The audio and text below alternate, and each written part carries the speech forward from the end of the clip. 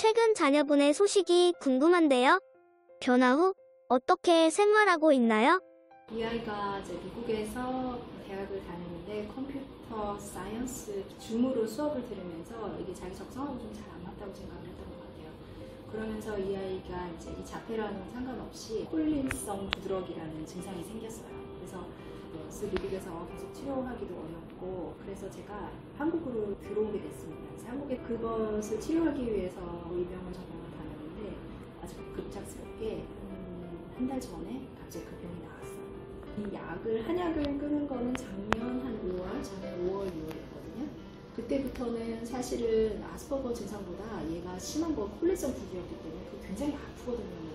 그래서 그게 무선이 되어버렸던 거예요. 그래서 그 병을 먼저 고치고 난 다음에 아스퍼거는 보자. 근데 제 느낌상 아스퍼거는 거의 나은 것 같아요. 그리고 비디오를 보여드렸을 때 선생님도 이제 거의 마지막 프로토콜이다 이렇게 얘기를 하셨거든요. 그래서 일단 그 한약에 대한 것보다도 일단은 너무 아프니까 몸이 아프기 때문에 콜린성 두드러기 치료를 받았거든요.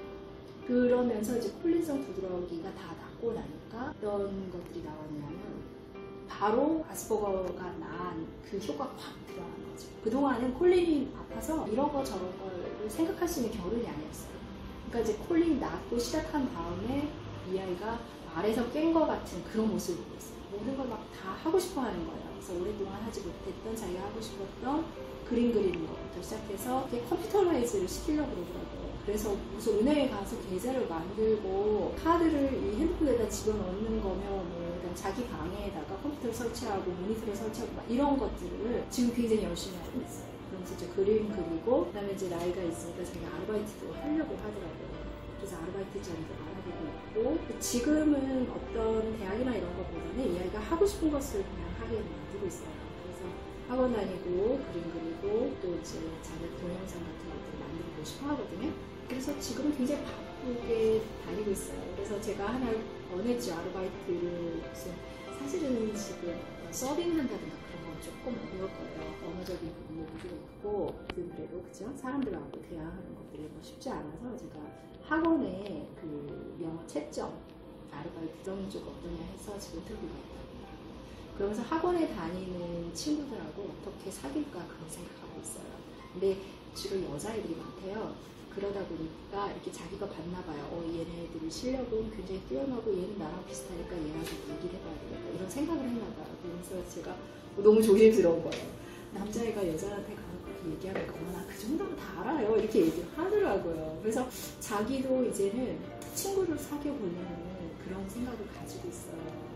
그리고 인터뷰라는 걸 하면 어떻게 인터뷰를 해요? 잡 인터뷰는 어떻게 가서 뭘 물어보죠? 경험이 없고 사람하고 이렇게 대화가 잘 안 되고 했는데 너무 그런 것들이 두렵지만 얘가 굉장히 적극적인 성격이에요. 그래서 시도를 하고 있더라고요. 좀 좌절도 있을 수 있겠고 실망도 있을 수 있겠지만 이렇게 하나하나 부딪히게끔 놔두고 있어요. 혼자 서울 가고 지하철 타고 다니고 저보다 더 잘해요. 지금 네. 그래서 월수금 가서 그림을 그리거든요. 그래서 그거 왔다 갔다 하면서 바쁘게 살고 있습니다.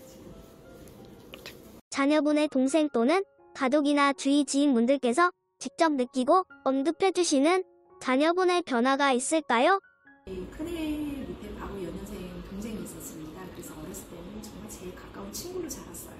그러나 이제 시간이 점점 지나면서 이게 역전이 되었어요. 그래서 둘째가 형 같고 큰애가 동생 같은 거죠.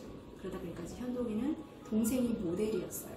그래서 그 아이가 좋아하는 걸 같이 따라가고 동생의 친구가 자기가 친구가 되고 그 근처에서 어울려서 놀고 동, 동생이 공부를 잘하면 자기 공부를 잘해야 되고 동생이 뭘 하면 엄마 하잖아요. 나도 그렇게 할래요. 이런 관계가 되어버렸어요. 근데 이제 동생은 어렸을 때부터 그 형의 모습을 봤기 때문에 익숙하고 근데 이제 나중에 보니까 이제 같은 또래에서 형이 이상한 행동을 할 때 동생이 얼마나 힘들었겠어요. 그죠?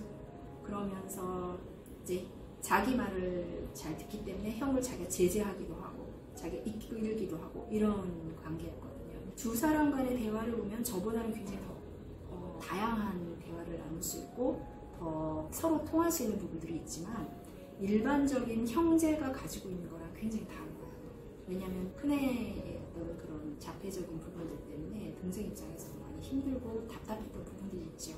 그래서 제가 지금도 이제 물어봐요.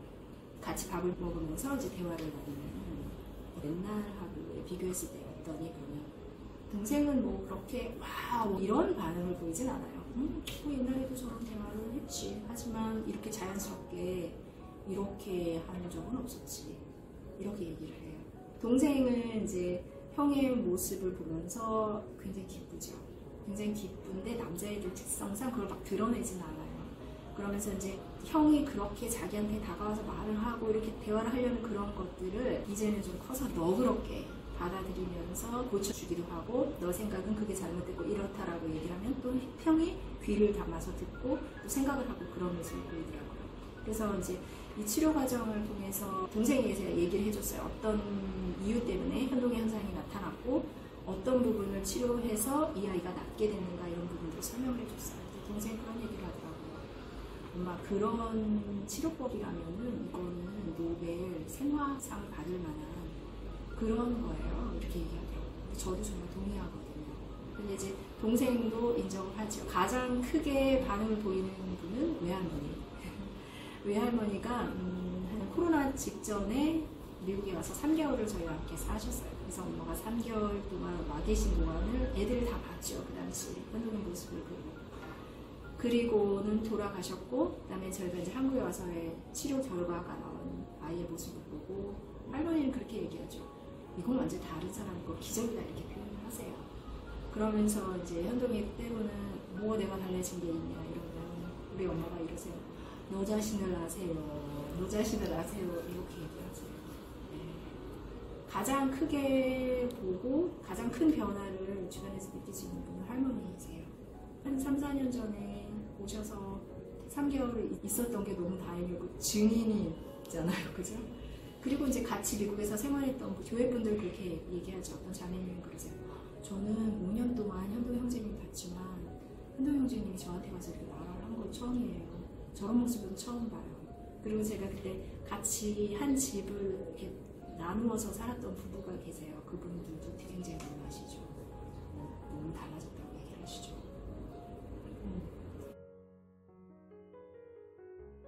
자녀분들의 발달 문제로 비슷한 고민을 하고 어려움을 느끼는 부모님들이 많으신데요. 그분들께 해드리고 싶은 조언이 있으신가요?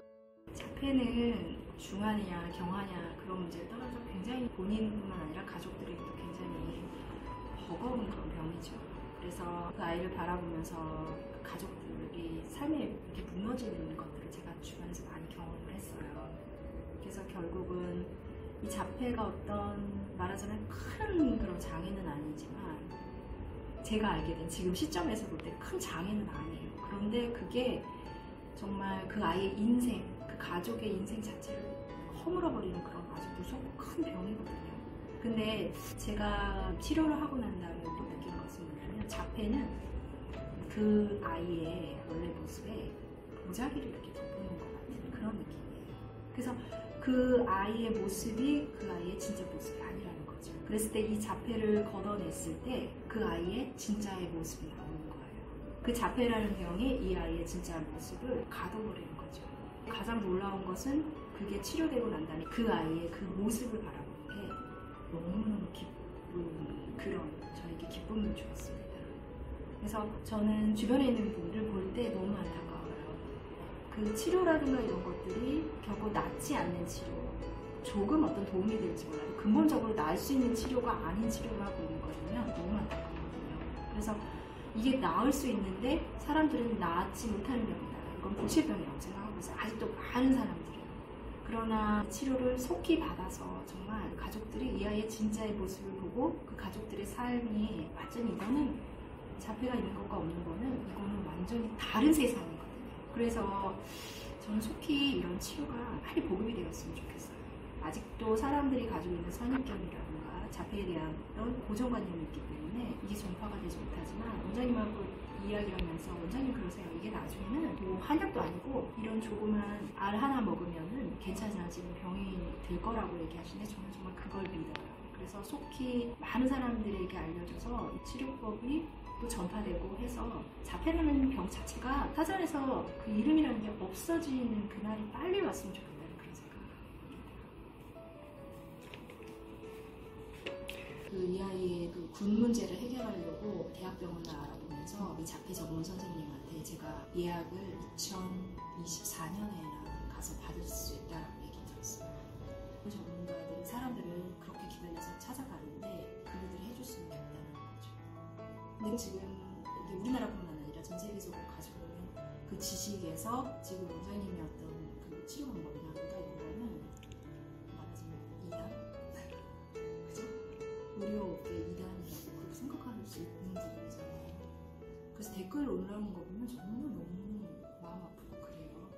그래서 원장님은 이렇게 이제 진출을 크게 나가시는 게 방향적으로 맞는 것 같아요. 저는. 큰 제가 뭐 해드릴 수는 없지만 제가 효과를 봤기 때문에 너무 빨리 잘 됐으면 좋겠고 그런 거는 근데 이 아이가 이제 어렸을 때부터 일본 만화를 좋아했기 때문에 좀 더 다양한 만화랑 일본의 소설을 읽기 위해서 자기 스스로 일본을 공부했습니다. 그래서 미국에서 갑자기 일본어 학원을 보내다는데 미국에서 일본어 학원을 찾을 수가 없어요. 그런데 자기 혼자서 공부를 했어요. 자기 혼자서 찾아보고 일본어에서 막히는 부분이 한자거든요. 한자를 나중에는 자기가 다 쓰더라고요. 그 정보 보여드리고 싶어요. 한문을 그렇게 필수를 하나하나 다 써서 그 이렇게 모는 종이 같은 데 있잖아요. 거기다가 빡빡하게 한문을 썼어요. 쓰고 필수도 1, 2, 3, 4 이거 다 써요. 조그맣게. 이거를 이만큼 모아놨는데 제가 너무 신기하고 사진을 찍어놨거든요. 어느 날 보니까 그거 다 버렸어요. 이렇게 들어간 거예요. 그거를 이만큼을 페이지 이만큼 쓴 다음에 나중에 그거를 다 버리더라고요. 제가 알게 된 건 뭐냐면 이 아이들은요 이렇게 쓴 다음에 이게 이렇게 착착 입어야 되는데요. 그렇게 하면서 일본어를 3, 4개월 정도에 제가 도달을 해버렸어요. 그러니까 그게 제가 나중에 알게 된 건데 아스퍼거들의 장점이죠. 시각화시키는 거. 그리고 정말 이게 사회성이 있다는 게 뭐냐면 학교에서 그 우수상을 받잖아요. 상을 상장을 받잖아요. 그 그냥 돌아다녀요. 그리고 뒤편에다가 한문 연습해요. 그냥 없어요. 그리고 제가 혹시 나중에 미국 다시 대학을 갈 때 그런 상장이 필요해서 학교 가서 재발급을 해요. 나중에 컴퓨터가 이상해서 엄마 내가 한 2, 3분 동안 이거만 열심히 해서 알아낸 거예요. 근데 정말 컴퓨터 수리 아저씨라고 왔는데 너무나 그 전문적인 대화를 하더라고요. 그리고 자기 컴퓨터 용량이 좀 이상하다 그래서 얼마 전에 또 갔었어요. 삼성에. 근데 그 아저씨가 얘기한 부분들을 너무나 전문적으로 얘가 컴퓨터를 제대로 배운 것도 아니고 하잖아요. 그 하드웨어에 대해서 이런 부분들을 다 어떻게 하라고 하니까 그러면 이거를 이렇게 이렇게 하나요? 물어보는데 이게 자기가 그냥 이거 관심이 있고 그걸 해야 된다면 그냥 그걸 들이다 파는 거예요. 그래서 콜린성 두드러기도 음, 자기가 한국에 있는 병원들을 다 다니면서 이게 안 낫겠다 싶으니까 학술지를 읽었어요. 영어로 된 거랑 일본어로 된 거를 다 찾아갖고 일본에 있는 어떤 교토대학에서 하고 있는 그 치료법을 하겠다고 졸라가지고 거기 갈 지경이 되었는데 나왔어요. 다행히 감사합니다. 그거를 다 뒤졌어요. 학술 논문을 뒤진 거예요.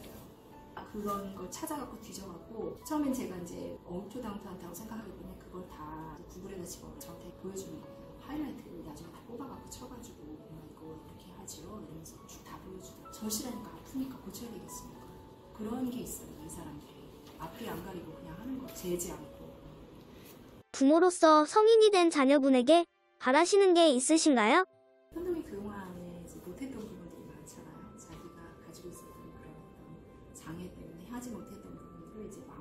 펼칠 수 있는 그런 시간들이 되었으면 좋겠어요. 그래서 우리 현동에 대해서 제가 좀 구체적인 계획이라든가 이런 걸 세우지 않고 물 흐르듯이 그 아이가 하고 싶은 것들을 따라서 하게끔 놔두고 있거든요.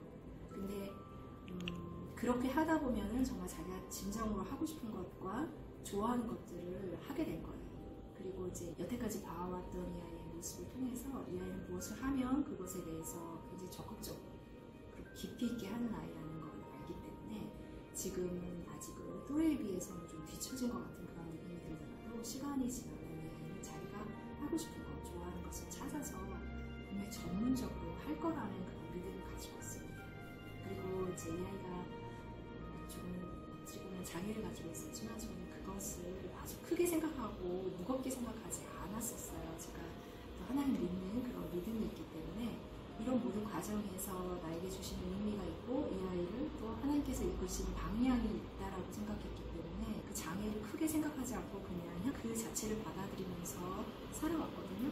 그런데 이렇게 놀라운 기적을 또 보여주셨기 때문에 이 아이에게는 또 어떤 모습이 있을까 굉장히 기대가 되고 큰 소망을 갖게 됩니다.